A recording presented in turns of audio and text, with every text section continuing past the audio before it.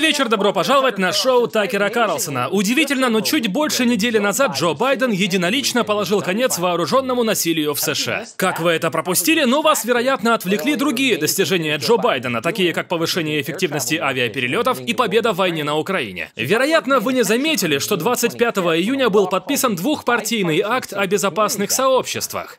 И он на самом деле двухпартийный. Его помогли написать такие либеральные республиканцы, как Джон Корнин. Вопрос в том, сработает ли он, сделает ли сообщество безопаснее. Решительно да, сказал Джо Байден. Цитата. Закон спасет много жизней. Сколько именно жизней?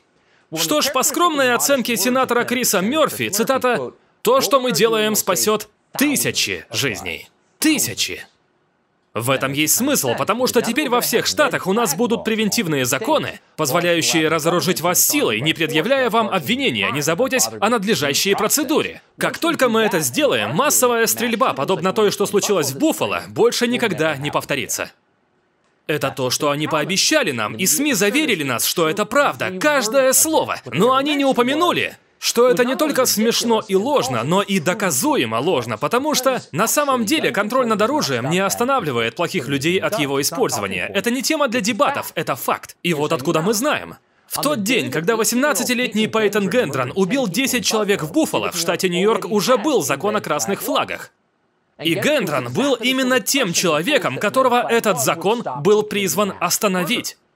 Гендрон хвастался в школе, что хотел убить большие группы людей. Тогда это уже был красный флаг. Мать уже ловила его за убийством кошки голыми руками. Гендрон был настолько явно сумасшедшим и опасным, что в какой-то момент к нему пришла полиция и провела расследование, но в конце концов ничего не последовало. Никакого действия эти законы не имели, и это неудивительно. Спросите любого, кто хоть что-то знает о насилии и не получает деньги за вранье, и вы узнаете правду, а именно Почти невозможно остановить того, кто твердо настроен на причинение вреда другим людям. Охранников в тюрьме регулярно убивают. В тюрьме нет оружия, но достаточно психопатов. Психопаты — это проблема. Если вам нужны еще доказательства, в понедельник, 4 июля, в штате Иллинойс произошла еще одна массовая стрельба. Иллинойс – штат с законами о красных флагах, запретами на штурмовое оружие и всеми формами контроля, о которых только можно мечтать в стране, где действует вторая поправка. Но стрельба все же произошла в Хайленд-парке, красивом пригороде к северу от Чикаго. И снова Стрелок был именно тем человеком, которого, как они утверждали, закон о красных флагах остановит, прежде чем он причинит кому-то вред. Его зовут Роберт Кримо. 21-летний рэпер-любитель с длинной и задокументированной историей странного, угрожающего поведения. А в понедельник он совершил то, что все, кто его знал, ожидали от него в какой-то момент. Надев женскую одежду, он взобрался по пожарной лестнице на крышу одного из домов, а затем открыл огонь по параду. Вот как это было.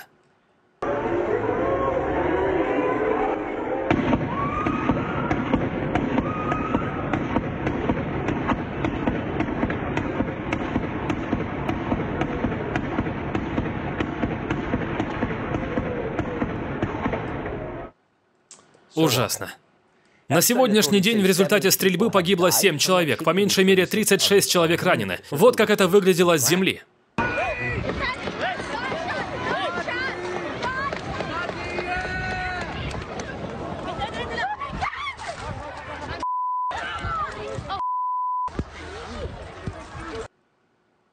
Хорошие люди, напуганные, истекающие кровью, некоторые мертвые, 4 июля. Ужасно. У нормального человека перехватывает дыхание, когда он видит такое, когда он осмысливает трагедию. Так и должно быть. Американцев просто убивают без причины. Итак, сделайте паузу, прежде чем политизировать их смерть, проявите уважение, они заслуживают этого.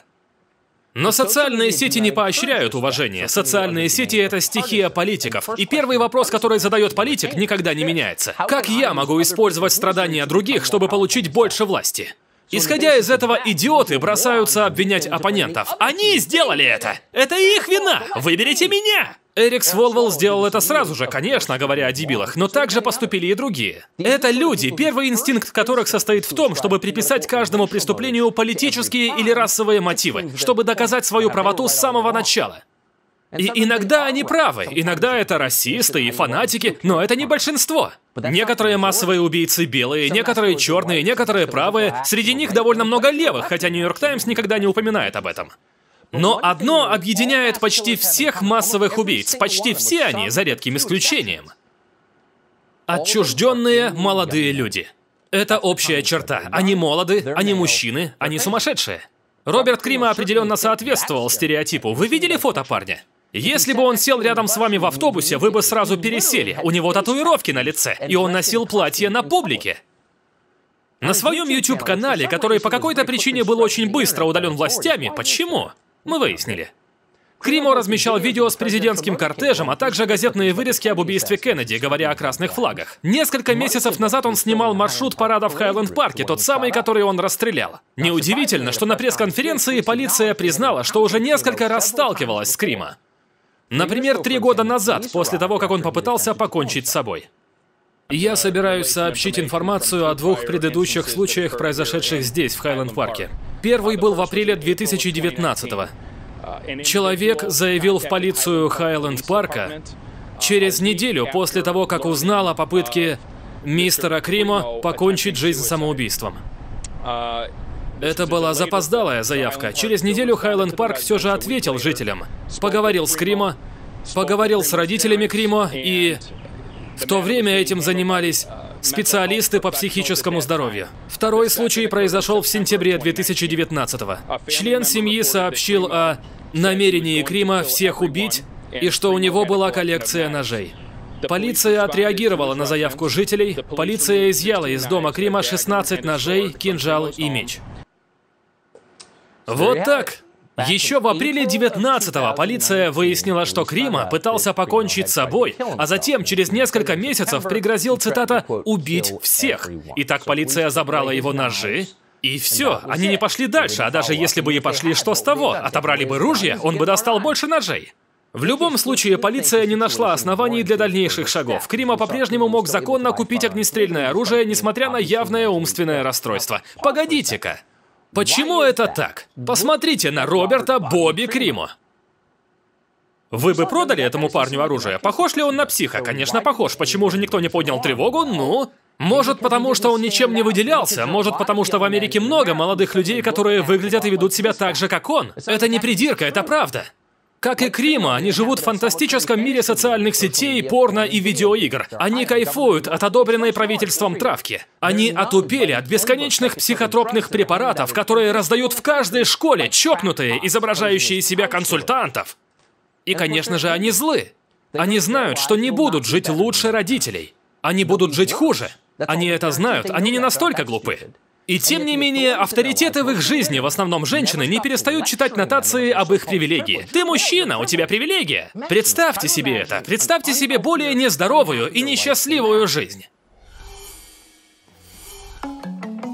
Друзья, напоминаю, что этот канал также существует на Яндекс.Дзен. Приглашаю вас подписаться и там, хотя бы потому что Выпуски на Дзене выходят на целый час раньше, чем здесь. И не забывайте, что поддержать проект и его команду вы можете на sponsor.ru. Все ссылки в описании и закрепленном комментарии. Итак, многие молодые люди в Америке сходят с ума. Вы удивлены? И, кстати, шокирующему большинству из них врачи прописали психотропные препараты или антидепрессанты. И это относится ко многим массовым убийцам. И имейте в виду, эти препараты предназначены для предотвращения сумасшедшего поведения. И все же, похоже, здесь есть связь. Эрик Харрис, убийца из Колумбайн, принимал Золофт и Лувокс. Годом ранее 15-летний Кип Кинкл застрелил своих родителей и десятки одноклассников. Он был на прозаке. В 2005-м 16-летний Джефф Вайс убил своего дедушку и 10 детей в Миннесоте. Он тоже был на прозаке. Как и 27-летний Стивен Казмерчак, который убил 6 человек в университете Северного Иллинойса. В 2012-м 25-летний Джеймс Холмс вошел в кинотеатр и застрелил 82 человека. Он был на золоте. Список можно продолжать и продолжать и продолжать. В него входит стрелок из Вашингтон Нэви Ярд. Им оказался 34-летний Аарон Алексис. В него также входит Дилан Руф, 21-летний парень, который расстрелял прихожан в Чарльстоне. Очевидно, он был расистом. И мы много об этом слышали, хорошо? Но мы почти ничего не слышали о том, что он принимал антидепрессанты. Он и многие-многие другие. Вы не должны замечать, но некоторые замечают. Political Psychology однажды составил список из десятков массовых убийств, совершенных молодыми людьми, принимающими прописанные лекарства. Есть ли здесь связь? Ну, мы не знаем определенно. Мы знаем, что еще больше, чем когда-либо этих препаратов принимается детьми. Да и вообще всеми, кто не принимает сейчас рецептурные медикаменты. С 91 по 2018 общее количество рецептов на COZS в Соединенных Штатах выросло более чем на 3000%. 3000%! 3000% чего угодно – это огромное изменение. Их редко где увидишь. Но целью этих изменений было сделать американцев спокойнее, адекватнее и счастливее.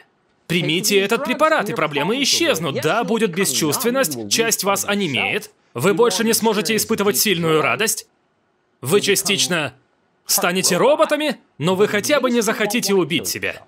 Или навредить другим. Таково было обещание. Три тысячи процентов. Сработало? Посмотрим. За тот же самый период Уровень самоубийств в Соединенных Штатах подскочил на 35%. Сработало? Ну, миллионы людей получили препараты против самоубийств, и теперь у нас больше самоубийств. Возможно, не сработало. Возможно ли, что это только ухудшило положение? Как думаете? Давайте посмотрим. Масс-шутинги тоже резко выросли за тот же период. Вот график, показывающий это. Недоумки на Твиттере постоянно кричат одно и то же. Корреляция — это еще не связь. Хорошо, что бы это ни значило. Но тогда, недоумки, скажите, что именно происходит? Что этот график значит? Мы знаем, что COZS опасен, это сказано на этикетке. Он вызывает, цитата, «тревожность, беспокойство, раздражительность, враждебность, агрессивность, импульсивность и манию». О, ничего такого. Это не связь. Тогда что это? Согласно одному обширному исследованию от FDA, у молодых людей, которым был выписан COZS, вырос уровень суицидов. О, Подождите-ка, больше суицидов? Должен же был уменьшиться уровень суицидов, а он увеличился. Давайте тогда остановимся. Но мы не остановились. Мы ускорились. С 2015 по 2019 использование COZ среди подростков США выросло на 40%. Что ж, не сработало, так что давайте увеличим количество. Это, похоже, огромная и весьма очевидная проблема. Весьма очевидная. Люди сами не свои. Они принимают препараты, которые, видимо, вызывают поведение, с которым должны были бороться. Почему они не говорят об этом по телевизору? Хо-хо, давайте глянем. В 2020-м фарм-индустрия потратила более 4,5 миллиардов долларов на телевизионную рекламу в нашей стране. Много ли это? Вот для контекста. Pfizer потратил больше на рекламу в 2020-м, чем на исследования и разработку. И это было не плохим, а прекрасным решением. Доходы Pfizer удвоились в прошлом году до более чем 81 миллиарда долларов. Как они это сделали? Ну, рекламная кампания помогла. Она помогла убедить политиков обязать все население принимать продукцию Pfizer. Продукцию, которая не работает как обещано, которая убила множество людей и чья побочка компенсируется через иски Конгрессом США. Вот это я понимаю модель бизнеса. Вы могли подумать, что это будет объектом медийной истории. Но нет! Никаких историй про Pfizer. Им заплатили за поддержку Pfizer, вот они и поддерживают. Вот, например, твит от CNBC, которая вроде как новостная организация, и мы цитируем. Pfizer идеален для продвижения mRNA, которые являются прорывными для лечения инфекционных, генетических заболеваний и рака. Оплаченный пост для Pfizer. Хэштег реклама. Это на их собственном аккаунте, новостная организация. Они признают, что это проплаченный пост для Pfizer. Но в защиту CNBC они не одиноки. Практически весь новостной поток в США — это оплаченный пост для Pfizer. Посмотрите на это. Эндерсон Купер, 360. Предоставлен вам компанией Pfizer. ABC News Nightline. Предоставлен вам компанией Pfizer. Человеческий фактор предоставлен вам компанией Pfizer. CBS Надзор за здоровьем. Спонсор компания Pfizer. Доброе утро, Америка. Предоставлено вам компанией Pfizer. CNN сегодня. Предоставлен вам компанией Pfizer. Ого, это все предоставлено вам Pfizer. Но зачем это? Так как каналы телевидения не выписывают лекарства. Доктора выписывают. Но зачем фармкомпании Pfizer реклама на телевидении? Но... Мы не уверены в ответе, скажем так. Не ждите с придыханием от CNN или с Добрым утром Америки жесткого расследования потенциальной связи между рецептурными препаратами и насилием. Скорее всего, этого не будет, коли они спонсируют эти каналы. Они будут продолжать говорить вам, это все из-за оружия. Кто-нибудь правда верит, что все это из-за оружия? Никто так не считает. Если вы правда считаете, что оружие – причина насилия, то вы бы могли, например, требовать более жесткого наказания за хранение оружия в городах. Это там, где происходит большинство шутингов. Но никто этого не делает. Почему? Потому что там живут избиратели демократов, так что без вариантов, что кто-нибудь будет на них давить. Вместо этого политики используют эти трагедии, чтобы делать то, что всегда хотели – разоружить их политических оппонентов. Вот кое-кто настолько тупой, чтобы сказать это вслух, губернатор Иллинойса Джей Би Прицкер. Это ужасно, что празднование Америки было прервано именно американской чумой. День, посвященный свободе, со всей очевидностью показал свободу, которую наш народ отказывается поддерживать. Свободу граждан жить без ежедневного страха оружейного насилия. Это 4 июля. День для отображения наших свобод. Наши основатели носили мушкеты, а не штурмовое оружие. И я не думаю, что хоть один из них говорил, что у вас есть конституционное право на штурмовое оружие с большим магазином. Хоть один человек, хоть один человек, смотрящий это, поверил хоть на секунду, что у Джей Би Прицкера были нормальные человеческие чувства за последние 20 лет. Кроме обжорства, жадности и жажды власти. Нет, в это никто не верит. Это политики, разоружите законопослушных. Это первое, что делает каждый авторитарный режим. Убедитесь, что другая сторона не может дать сдачи. Это то, что они все делают. Так что, конечно же, в Нью-Йорке неизбранный губернатор штата, к слову о демократии, ее имя Кэти Хокул, носила небольшое ожерелье вакцинировано, возможно, больше его не надевает. Одобрила закон, требующий от покупателей оружия предоставить государству их аккаунты в соцсетях. Ммм, вызывайте юристов по первой поправке. Заявители должны доказать, чтобы удовлетворить Кэти Хокул, что у них есть, и мы цитируем, «цельный характер, темперамент и суждения, необходимые для верения им оружия». Так что идея, что Кэти Хокул не избранный губернатор, держатель ваших прав, и она может их выдавать на основании вашего послушания. Итак, это инверсия главного обещания Америки, по которому ваши права идут перед государством. Они даны вам Богом, это слово еще можно говорить. И государство просто охраняет их. Но как только вы откажетесь от этого, как Джо Байден, когда начнете говорить нам, ваши права у меня, и если вы будете делать, как я говорю, то я вам их отдам, то для вас все возможно, так что Нью-Йорк на этом не остановился. Нью-Йорк также сделал уголовно наказуемым носить оружие в публичных местах, если только вы не охрана Кэти Хокул. Вы не можете носить оружие в церквях или школах, где, как известно, и бывают масс-шутинги. Так что, значит, законопослушные в Нью-Йорке не могут себя защитить. Это подкреплено данными? Кэти Хокул провела некое исследование, говорящее нам про спасение жизней. Нет, даже не делают вид. Она это делает так, как ей так хочется. Она признала это на камеру. Смотрите. Губернатор, у вас есть цифры, показывающие, что владельцы разрешения на скрытое ношение совершают преступления? Мне не нужны цифры. Мне нужны данные, говорящие, что вот это вот, все, что я знаю, что у меня есть ответственность перед жителями штата. О, мне не нужны цифры. Нет необходимости в цифрах. Я действую на чистых эмоциях. Потому что я так чувствую, так как забочусь. Вау, оживший стереотип, нет? Нет доказательств, что это сработает. Ей не надо. Она хочет больше власти. Посмотрите, как она это объясняет. Представьте, вы в переполненном метро и случайно кого-то толкнули. Страсти накаляются, а у того, кого вы толкнули, оказалось оружие скрытого ношения. Представьте, вы в баре, кто-то начинает драку, и у них есть скрытое оружие. Представьте, вы в Таймс-сквер вместе со своей семьей. Вы идете на шоу со своей семьей, и вы окружены людьми со скрытым оружием. Вы почувствуете себя в большей или меньшей безопасности? Где твое ожерелье вакцинировано, Кэти Хокул? Разве ты не хвасталась? Почему больше не хвастаешься этим? Может, выйдешь и объяснишь?